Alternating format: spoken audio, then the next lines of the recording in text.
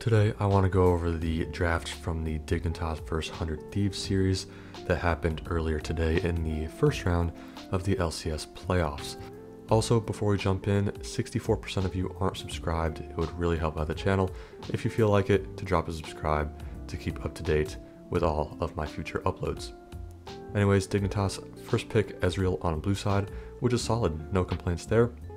Uh, really versatile champion to be able to draft around. Uh, he kind of does everything really well. He can go forward, he can go backward, uh, obviously mobile, uh, long range, great scaling, so good overall first pick for Dig, no real complaints there.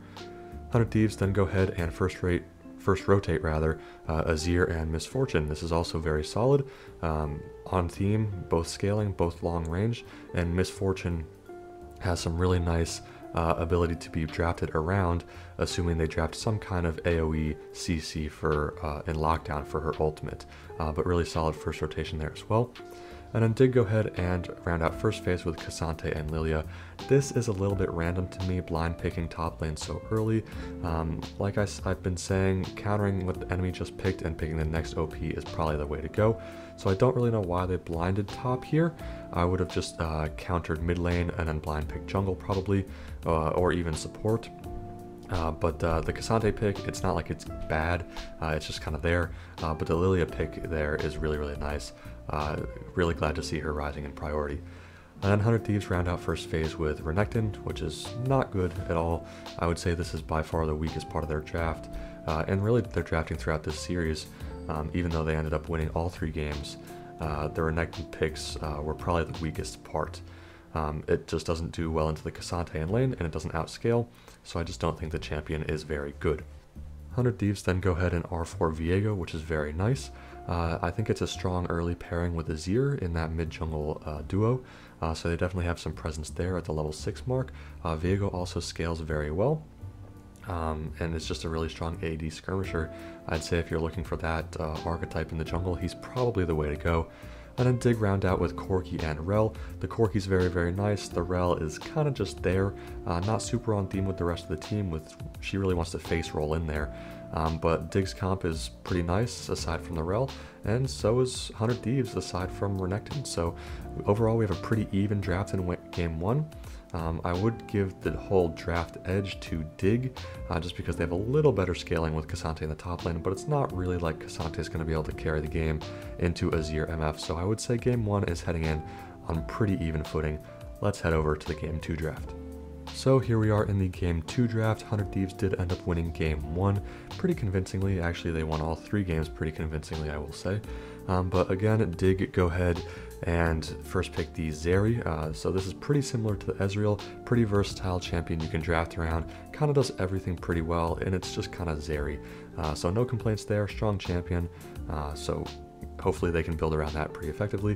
100 Thieves go ahead and uh, first rotate Lilia and Smolder, which is very nice. Uh, the great thing about Smolder too right now is that he's a flex pick with all of the uh, marksmen flexing into mid lane currently in the meta. Smolder can go bot lane, mid lane, or even top lane. I've seen him uh, a couple times too. So really strong uh, flex pick there potential for 100 Thieves. And now we want to see them hold that flex potential for as long as they possibly can. Also paired with the Lilia, really, really strong scaling already. So hopefully they continue with that scaling uh, theme throughout the draft. Dig second rotate Renekton and Brand. Uh, so uh, with the first pick Zeri, you go with the theme of scaling and team fight, and Renekton just completely counters that. Uh, so there's already kind of uh, incongruency in, in Dignitas's draft. The brand matches very, very nicely and uh, wants to play for that scaling team fight, but this is the case with so many Renekton picks is that uh, a lot of the, the meta champions are focused around scaling themes, and you want to chill, get to those item break points around 25-30 minutes, and then start team fighting, and Renekton just doesn't fit that mold. I don't understand why he's picked so often. Anyways, 100 Thieves go ahead and round out first phase with the Jax, which is very, very nice. Uh, does well into the Renekton in lane and will hard outscale him. So again, 100 Thieves, uh, with this game at least, a, a pretty large scaling advantage. Uh, all three of these picks scale tremendously well, and with the Renekton stuck on Dig's side, I would definitely give 100 Thieves the advantage through phase 1. 100 Thieves then go ahead and pick R4 Rakan, which is, you know, fine. Uh, he's a very versatile champion. I don't personally like him all that much unless he's going to be picked with Xayah, which who knows, maybe they'll do here. Um, but he does offer the engage, he offers peel support. Again, very versatile. He can do a lot of things as a champion, which is very, very nice to have in a draft and then Dig go ahead and round out with Kalista and Renata, so you can see this draft Dignitas is completely lost. They've split straight down the middle in terms of themes with scaling, uh, with Zeri and Brand, and then full early and mid game with Kalista and Renekton, so they don't really know which direction they want to go, and that's um, with the Xayah round out on R5 for 100 Thieves. Uh, they're definitely going to be in an advantageous spot here in game two with consistent theme of scaling and team fight. Um, they have a really well-rounded comp, uh, solid side lane pressure, and tremendous scaling uh, through, uh, throughout the entire comp, uh, not like Dignitas where they've split uh, really, really decisively between scaling and early game. So 100 Thieves with a huge draft win in game 2, let's check out the game 3 draft. So here we are in game 3 and this time Dignitas first pick Azir. They first picked a different champion on blue side every single game and all three of them have been pretty solid picks. The Azir obviously offers really great themes of scaling and long range, and also he does pretty well in the lane phase. I think uh, with this marksman mid lane meta, a lot of people have gotten kind of lost with Azir, um, but he's he hasn't been weak. He has never gotten nerfed. It's just the explosion of marksman in the mid lane. I feel like has kind of forgotten about a lot of these really strong mage type type picks. Um, but Azir's always been there, and he's always been a strong option.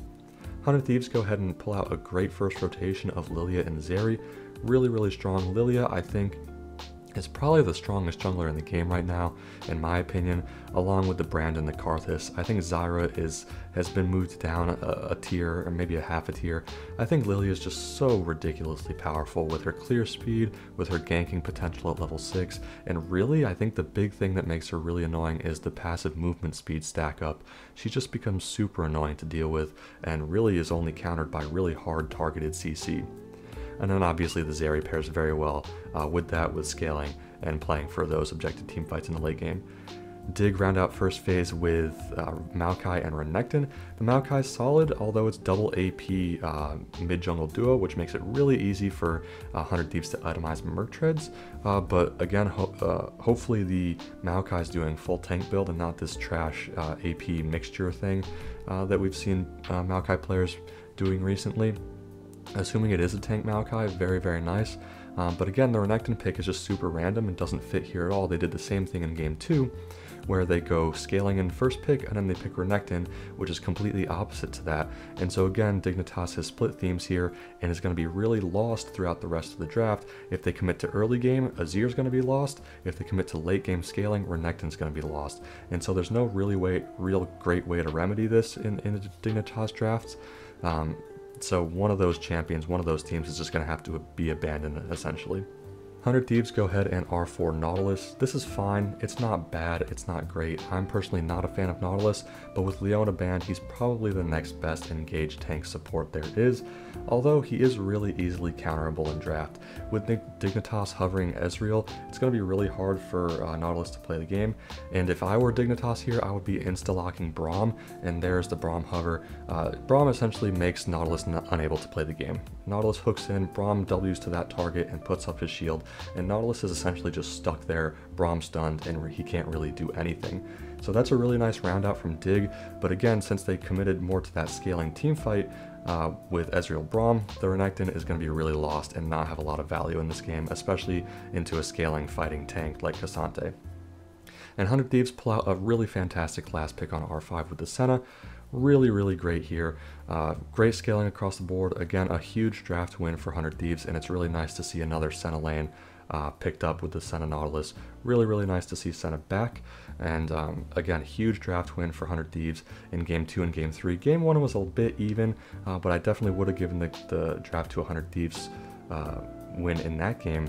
And, you know, overall, I'm really excited for 100 Thieves. I think they drafted really well today. I think they played really well today. And I would definitely think that they're an underestimated pick to contest that top echelon of teams in the LCS playoffs. Over on Dig's side, it definitely wasn't the Dig season they were hoping for. Uh, you know, maybe all these players are just old and washed. We'll have to see what they do next year.